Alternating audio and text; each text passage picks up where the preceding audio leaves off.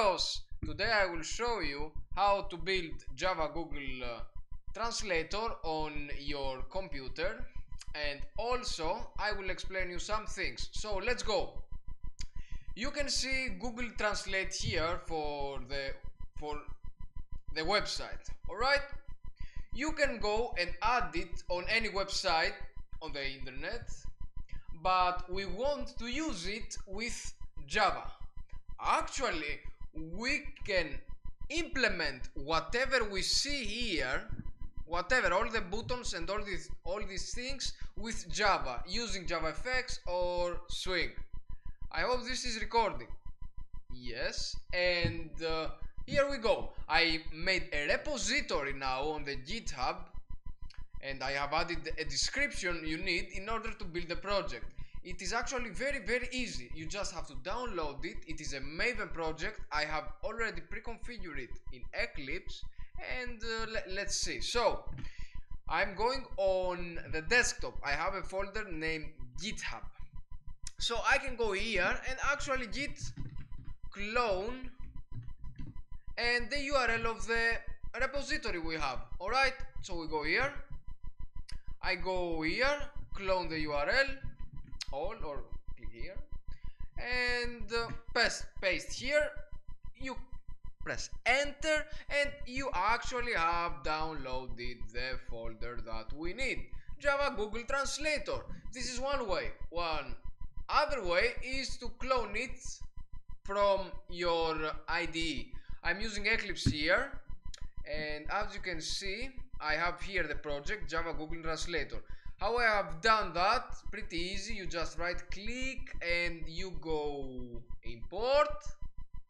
You go from existing projects here existing projects in the workspace browse go into github.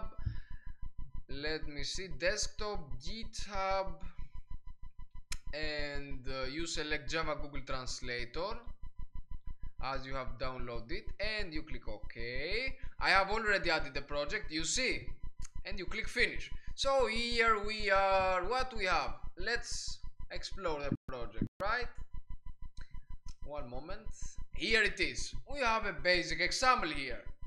This is a second video. When I will release uh, maybe third or fourth video, I will have added other classes here. Okay, so how it works now if we open it uh, this class google translate translate we can see that all the things that we need are actually in one class google translate class.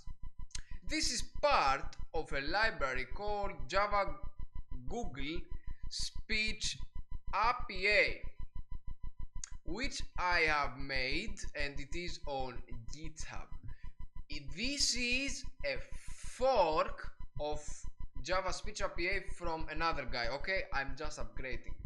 So this guy with another friends has made this class which allows us to use Google Translate API as I have described in the first video in order to translate from la one language to another it uh, also has automatic language detection.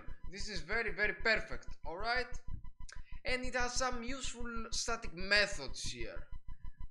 One of them is detect language. You add some text for example hello and it will return you back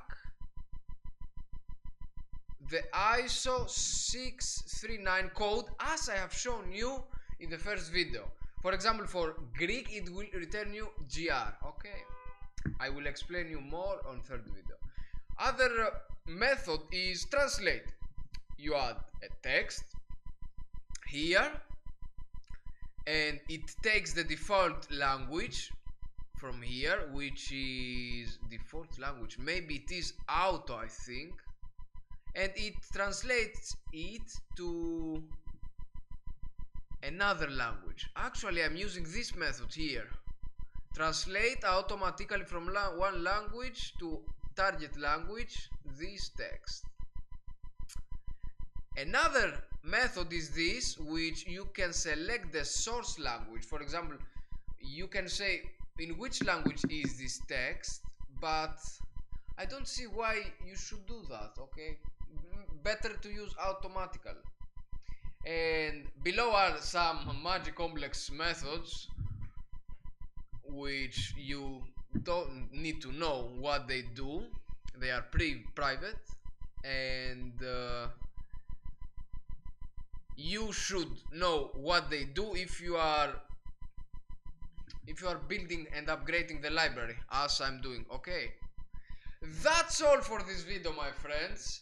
I want you to try and build it on your computer locally and I will make another video. Maybe soon. Bye